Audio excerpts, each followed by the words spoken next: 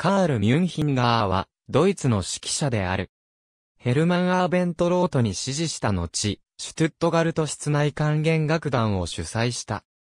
ミュンヒンガーとシュトゥットガルト室内管弦楽団によるバロック音楽の演奏は高く評価されたが、ニコラウス・ワーノンクールに代表されるオリジナル楽器と歴史的双方を重視する指揮者が台頭すると時代遅れとみなされるようにもなった。1915年5月29日、ドイツのシュトゥットガルトにて生まれる。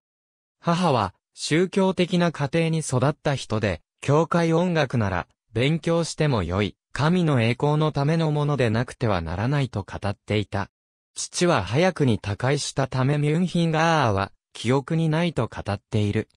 5歳よりピアノを始め、同時期に双子の弟もバイオリンを始めたが、ピアノと違って音を自分で作り出す必要があるという点に惹かれ、6歳になってバイオリンも始めた。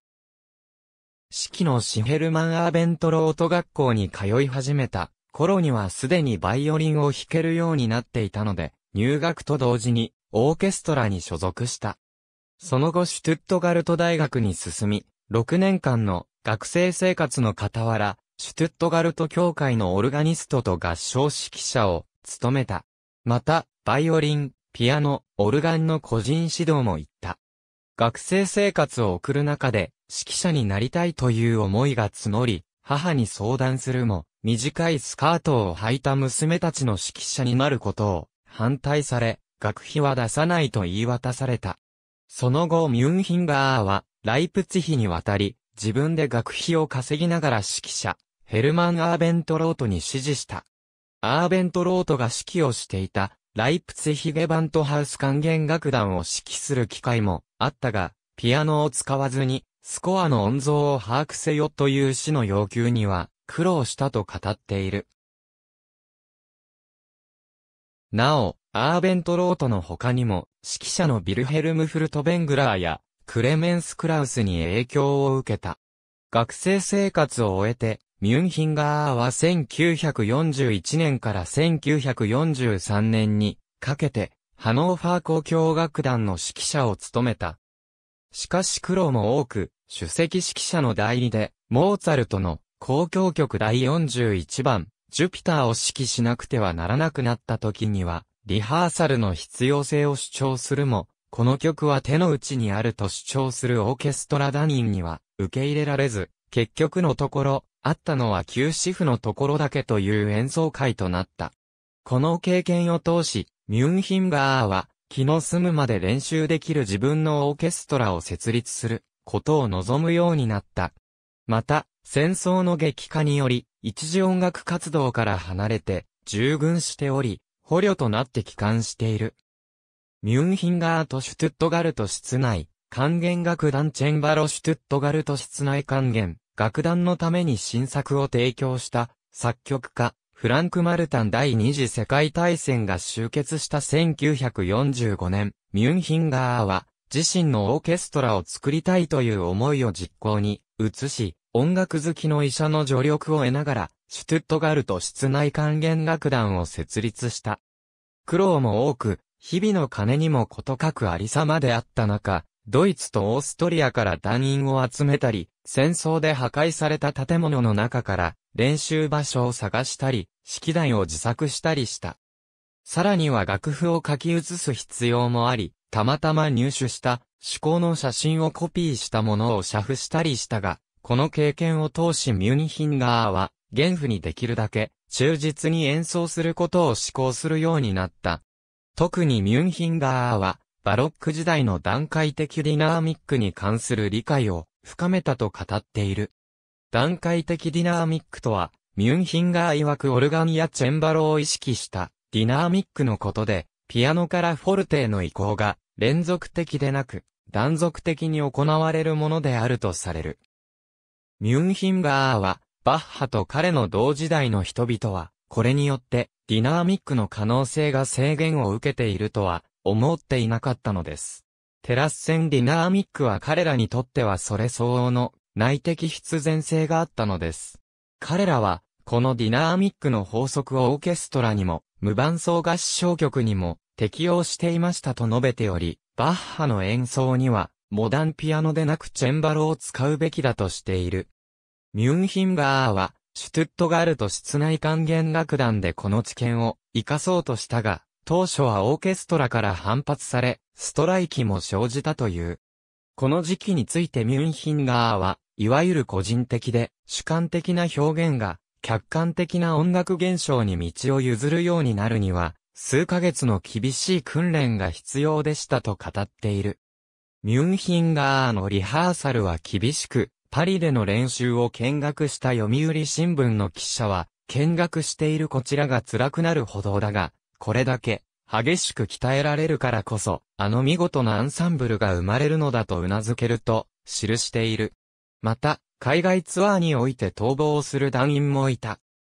ミュンヒンガーは、規律による訓練が一番大切です。どの一人の独奏者もアンサンブルの中の自分の役割と解釈された作品の内容を隅々まで理解して演奏しなければならない。つまりオーケストラの全員が一体になって意志を完全に表現するのです。私は優秀なソリストと団員に助けられていると語っている。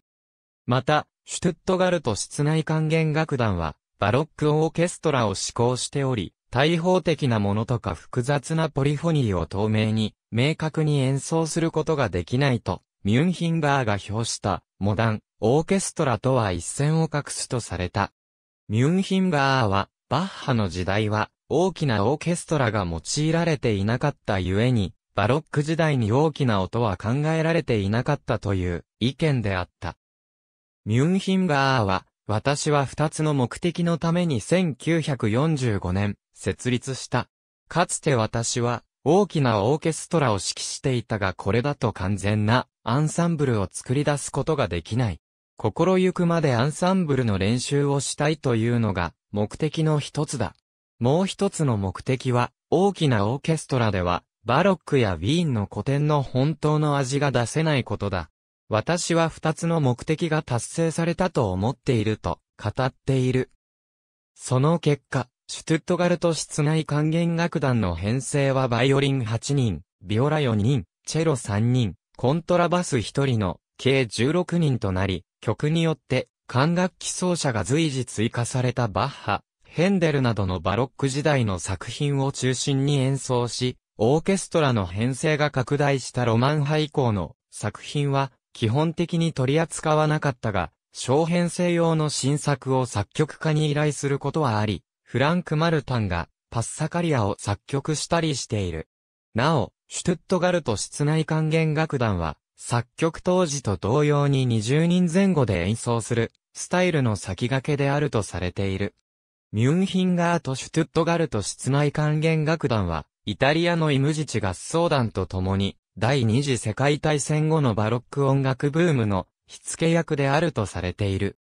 両者の組み合わせは集客率も高く、音楽評論家の樋口隆一は、留学先の中ビンゲンの大学講堂で開かれたコンサートに、大学や町の重要人物の多数が出席したと語っており、さらには、普通の演奏会ではついぞ会うことのなかった顔見知りの肉屋の夫婦まで聞きに来ていたという。シュトゥットガルト室内管弦楽団の首席ビオラ奏者を務めた、林哲也曰く、ヨーロッパだけでなく世界中で同じような状況であったという。そのため、ドイツ領事館など、政治的な場で演奏をすることもあった。ローマ教皇、イギリス女王など、多くの君主や元首の前でも演奏している。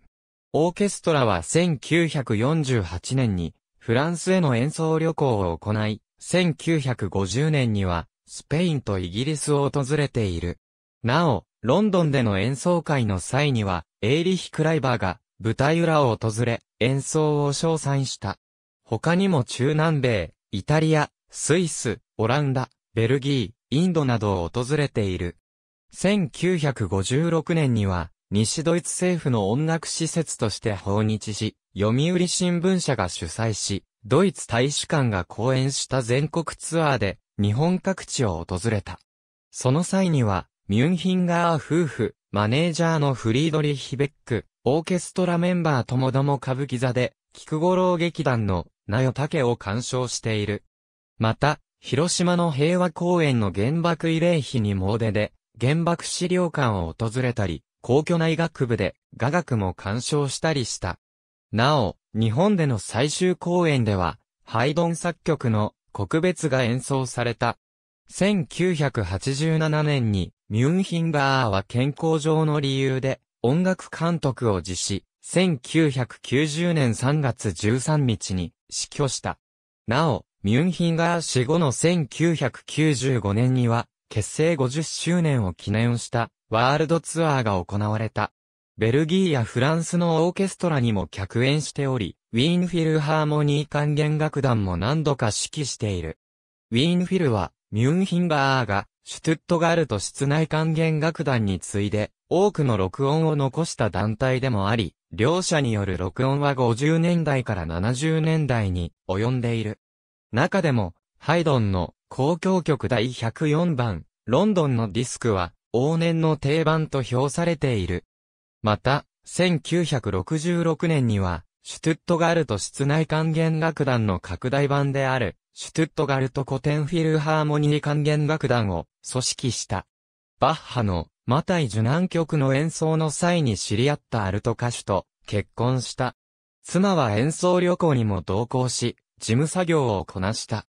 ミュンヒンガーとシュトゥットガルト室内管弦楽団を称賛した指揮者、エーリヒ・クライバー・ミュンヒンガーを自身の後継者に希望した指揮者、ビルヘルム・フルトベングラー・ミュンヒンガーが受賞したドイツ連邦共和国厚労省第10次勲章作曲家、ヨハン・セイバスチャン・バッハ。ミュンヒンガーのバッハ演奏は評価されたが、批判もあった。